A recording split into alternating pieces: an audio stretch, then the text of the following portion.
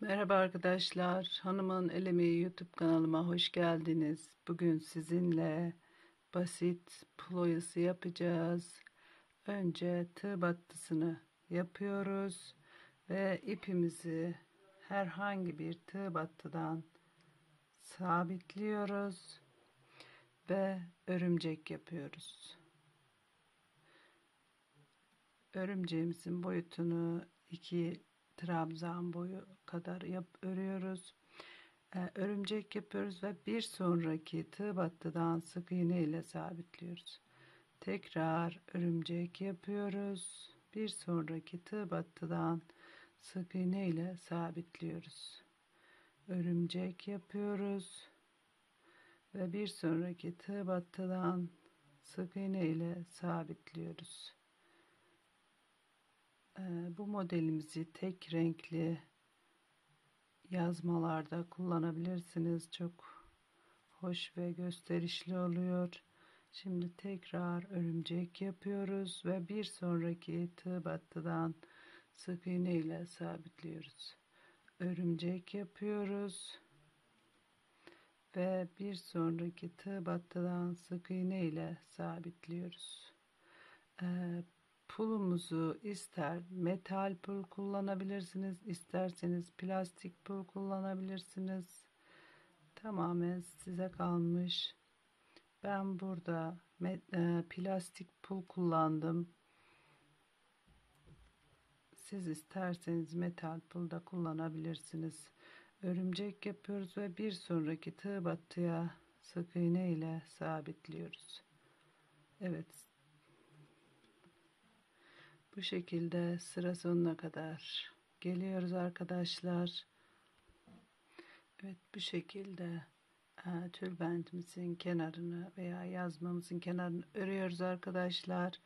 E, sonra ipimize e, pulumuzu diziyoruz. Ve şimdi buradan örümceğimizin bir tek kenardan örümceğimizi uzatıyoruz. Sık iğne yapıyoruz. Şimdi bir tane pul alıyoruz. Pulumuzu düğümlüyoruz ve yan tarafa yatırıyoruz ve aynı örümceğin içinden tekrar sık iğne yapıyoruz. Diğer örümceği çekiyoruz sık iğne yapıyoruz. Bir tane pul daha alıyoruz. Evet pulumuzu çok sık olmayacak şekilde düğümlüyoruz ve tekrar yan tarafa çeviriyoruz ve sık iğne yapıyoruz. Diğer örümceğe geçiyoruz. Aralarda zincir çekmiyoruz. Sık iğne yapıyoruz. Ee, pul alıyoruz e, pulumuzu düğümlüyoruz ve yan tarafa pulumuzu yatırıyoruz. Aynı örümceğin içine sık iğne yapıyoruz. Diğer örümceğe geçiyoruz. Sık iğne yapıyoruz. Tekrar pulumuzu düğümlüyoruz ve aynı örümceğin içine sık iğne ile sabitliyoruz. Şimdi aralarda zincir çekmiyoruz. Diğer örümceğe geçiyoruz. Sık iğne yapıyoruz. Bir tane pul alıyoruz. Çok sıkı olmayacak şekilde pulumuzu düğümlüyoruz ve aynı örümce pulu yan tarafa yatırıyoruz ve aynı örümceğin içine sık iğne yapıyoruz. Diğer örümceğe geçiyoruz. Sık iğne yapıyoruz.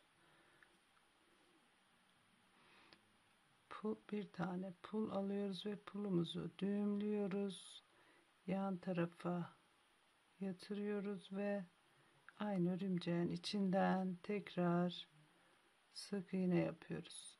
Diğer örümceğe geçiyoruz. Sık iğne yapıyoruz bir tane pul alıyoruz. Pulumuzu düğümlüyoruz. Ya, yana yatırıyoruz ve tekrar aynı örümceğin içine sık iğne yapıyoruz. Evet modelimiz bu şekilde tersten bu şekilde görünüyor. Ee, tek renkli yazmalarda çok hoş duruyor. Tekrar bir tane daha yapalım.